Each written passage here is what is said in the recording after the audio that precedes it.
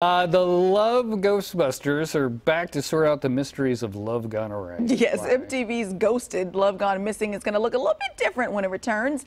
John is uh, standing by with a little bit more. So, Except the satellite might have ghosted him. oh, is that what's happening? Is the satellite has Oh, it's ghosted? very Oh, we're good?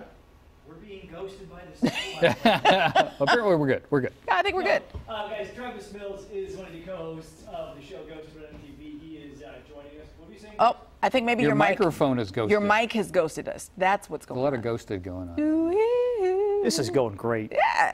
Very Hey. Travis. We'll fix it in post. Travis, this is Travis Mills. He's one of the co-hosts Hello, of Ghosted hello. on Can MTV. you guys Good hear me? morning. Thanks for being with us.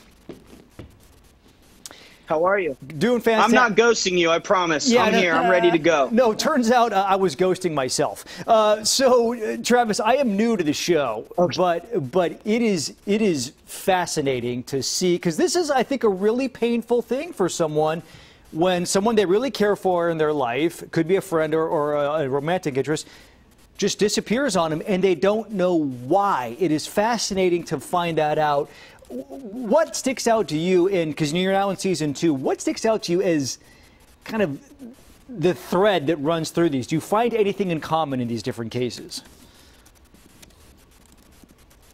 Oh, 100%. You know, look, I think at the end of the day, these are all real people with real stories. And I think now, you know, especially at a time like now, more than ever, they're left alone with their thoughts, right? They're mm-hmm. asking themselves, you know, what did I do wrong? Why doesn't this person want to be with me? You know, why did I get ghosted? What could I have done differently? And when you're stuck at home and you're not able to go out with your friends and, you know, you're not able to go to work, those questions can just really eat at you. So Rachel and I really empathize with these people and, you know, we're trying to get them answers at the end of the day.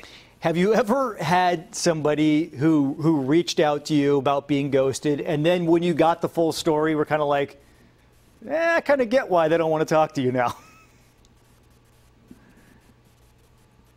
All I'm going to say is watch this new season because there is a case. Um, Oh, really? You know, there are some people with uh, some challenging, challenging personalities, to say the least.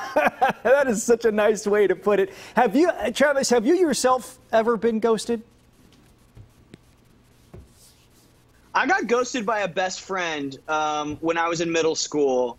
Uh, but I have to admit, I also have ghosted someone. So something that I definitely learned my lesson on. Um, Rachel's been ghosted. I feel like that's why we make a good team because you know she comes from from a certain perspective. I can kind of put myself in the mind of the ghoster, and together, you know, we're able to uh, to crack these cases. So uh, season two, unlike season one, was shot during a pandemic, and you guys actually had to to shoot it all yourselves. What was that like?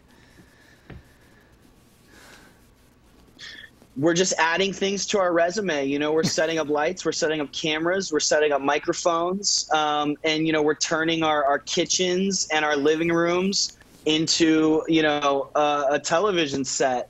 Um, as challenging as it is, I think we made something that we're really proud of. And you know, look, I was I was skeptical at first because I was like, who's going to want to watch us sit in front of our computer?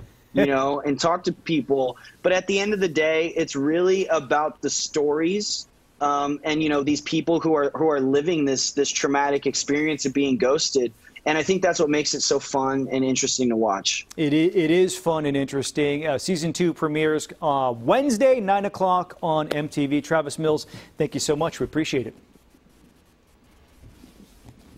thanks for having me i appreciate it It is a fun watch, guys. it is fun.